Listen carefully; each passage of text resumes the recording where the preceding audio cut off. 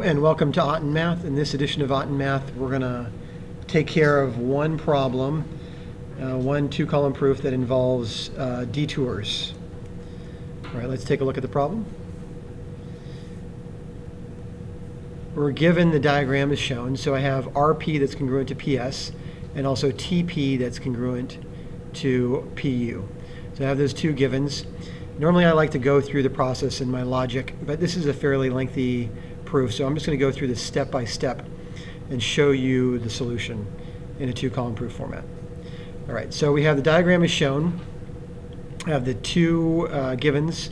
TP is congruent to PU, and that's indicated by that red uh, highlighted line, and PU is congruent, sorry, TP is congruent to PU, and then RP is congruent to PS, and those are indicated by the two hash marks.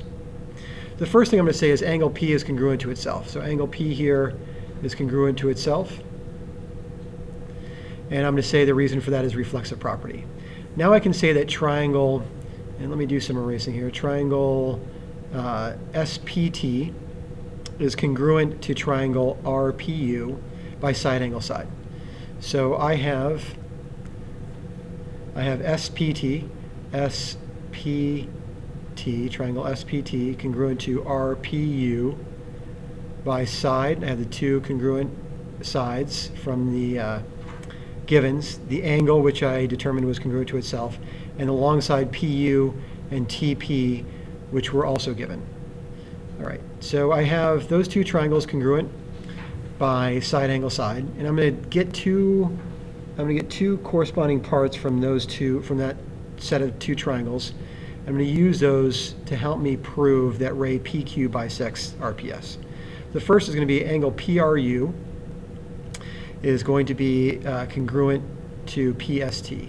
So I have PRU congruent to PST, and that's going to be corresponding parts of congruent triangles are congruent. And then I'm going to say that angle T, it's already marked up, is congruent to angle U, and again, corresponding parts of congruent triangles are congruent. Now I'm going to say that angle TRQ is going to be congruent, so angle TRQ, this angle, is congruent to angle USQ, because if angles are supplementary to congruent angles, this angle here and here, then those two angles are congruent to each other. So now I have triangle TRQ and USQ congruent. Um, and then I'm going to say that TR is congruent to SU. So TR congruent to SU. And I know that because I have RP and PS that are congruent, TP and PU are, that are congruent. So if I subtract RP from TP and SP from UP, then I end up with TR and US. And those two are congruent because if you subtract congruent segments from congruent segments, their differences are congruent. So now I have TR congruent to SU. I have angle QSU and angle TRQ that are congruent. And I've also established from CPCTC that angle T and angle U, excuse me, are congruent. So now I can say that triangle TRQ, the triangle TRQ, and let's back up here a second. Triangle TRQ is congruent to triangle USQ because I have my angle here, my side by subtraction, and then my angle here, uh, which was part of the what I resulted from from proving uh, triangle SPT and RPU congruent, so by CPCTC. So I have those two triangles congruent. Now I can say that RQ is congruent to SQ by CPCTC.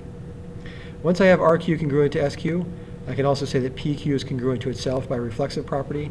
Now I have two triangles that are congruent, RPQ and uh, SPQ by side, side, side. Once I have those congruent by side, side, side, I can say that angle RPQ is congruent to SPQ. So RPQ congruent to SPQ by CPCTC. And then finally, I can say that ray PQ bisects angle RPS.